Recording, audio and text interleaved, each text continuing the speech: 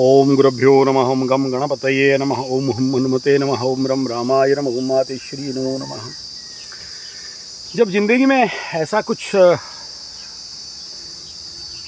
कुंडली के सूत्र जो हमारे भगवान पारासर जी या भृगु जी के या जयमिनी जी के सूत्र जब जीवन में लगते हुए देखते हैं तो सत्य होते हुए जब देखते हैं, या फिर गुरु मुख से सुने हुए कोई वाणी जब सत्य हुए देखते हैं तो फिर मन करता है कि नहीं, इसका वीडियो बना दिया जाए। तो क्या है?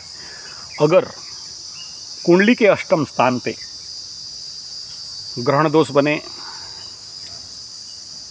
और मुख्यतः सूर्य और राहु, सूर्य और केतु साथ में उसको एक्सेलरेट करने के लिए बुद्ध बैठ जाए संभवतः संभावना होता है जेल जाने का योग। सबके लिए नहीं है। लेकिन कई कुंडली में मैं देखा हूँ। एक बार ऐसे देखते देखते मेरा गुरुजी बोल दिए, मैं अभी मेरे गुरुजी के घर के सामने ही हूँ, गुरुद्वार के सामने हूँ। बोले थे एक बार कि देखो, ये कंडीशन होने से जेल होता है। मैं उतना ध्यान नहीं दिया। और अभी जिस, ज्योतिष, जिस जातक को बात किया और इससे पूर्व एक दो ऐसे ही, क्या होता है ना, हम लोगों के साथ जब कोई ऐसा युति आता है तो ऐसे सीरीज़ आते जाते हैं। तो एक बहुत बड़े कॉलेज के प्रोफेसर साहब थे, बहुत ज्ञानी, गुणी और बहुत उच्च तबके के आध्यात्मिक साधक भी थे, लेकिन कुंडली में ऐसा कंडीशन था। और ऐसे कई सारे, बहुत हायर लेवल गवर्नमेंट के बड़े आई रैंक के आदमी, कुंडली में ऐसा दुर्योग है। झूठे केस में प्लॉट करके उनके साथ जेल में घुसने का योग बनते, बनता है, बनने का संभावना बनता है या ऐसा सिचुएशन सिनेरियो बनता है जहाँ झूठे केस में मान सम्मान का हानि। और ऐसे में बहुत सारे देखा हूँ। मेरे नियर एंड डियर को भी देखा हूँ क्लोजेस आदमी क्लोज आदमी को भी देखा हूँ, दूर आदमियों को भी देखा हूँ। मानसिक लेवल पे टूट जाना, तनावग्रस्त होना, दुखी होना और समाज के सामने सर उठा के चल नहीं पाना, इतना मानसिक सदमा में पड़ जाना कि खाना पीना नहाना धोना भूल जाना और साफ़ सुथरा रहना भी भूल जाना नहाना धोना भी भूल जाना और ऐसा हो जाए कि मुँह से सांस जाए। मतलब एक प्रकार के सदमा तो ये बनता है।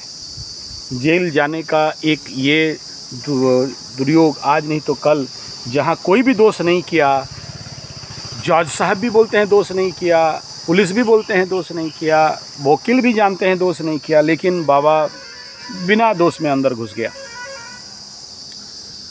ये केवल एक युति से नहीं होता है। अगर किसी कुंडली में ऐसे युति है तो कभी ऐसे सोच के तनाव नहीं हो कि फिर जल्दी जल्दी कुंडली देख दो, नहीं बोलना। हर किसी घटना घटे तो उससे उससे पूर्व क्रम में कुछ वार्निंग्स आते हैं।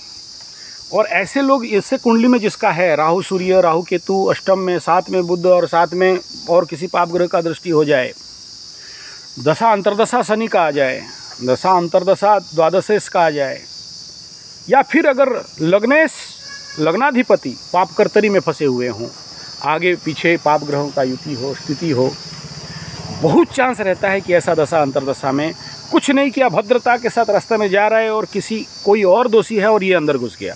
और पेपर में, मीडिया में और उसमें निकल गया और नाम मान सम्मान ख़त्म हो गया। रास्ते पे आके ज़ीरो आ जाता है। एकदम खड़ाम और कुछ नहीं होने वाला। संभावना रहता है। और ऐसे युति अगर किसी की कुंडली में हैं तो ऐसे व्यक्तियों को आवश्यकता है कि उससे पहले इस प्रकार के रेमेडीज़ करके अपने को लेस हो जाए फूक फूक के चले, जब तक कि इसका दशा, अंतरदशा खत्म नहीं होता। और उसके लिए जो हाई पावर रेमेडीज़ हैं, वो पहले से करना पड़ता है।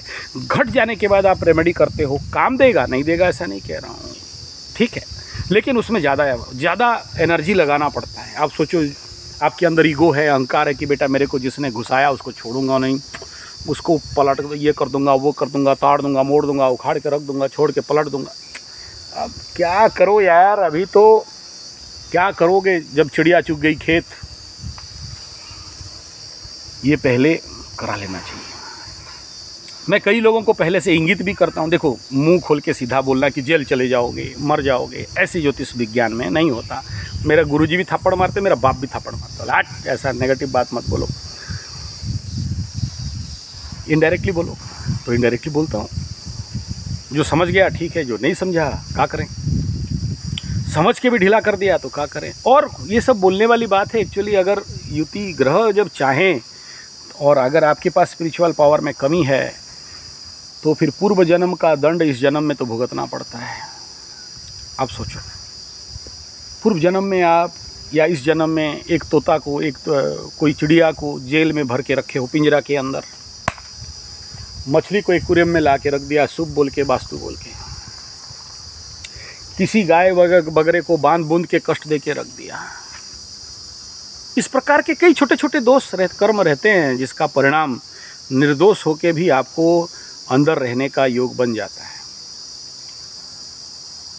या फिर सोचो आप ज़िंदगी में किसी न किसी कारण बसात इस प्रकार के कर्म किए हो जिसके लिए आपको इस कर्म का दंड आपको भुगतना पड़ रहा है। क्योंकि जब अच्छा टाइम रहता है हम ताव में रहते हैं हमारा अहंकार एकदम गड़ा हुआ रहता है धन दौलत पैसा घर द्वार परिवार और सब सुख सौहार्द्य में रहता है हम जीवन पे नेगेटिव सीनरियो सिचुएशन को भूल जाते हैं या कभी सोचते नहीं थे कि कल भी ऐसा ज़िंदगी आएगा जहाँ हमको एक बीड़ी पीने के लिए भी पैसा मांगना पड़ेगा, बीड़ी जलाइले करना पड़ेगा।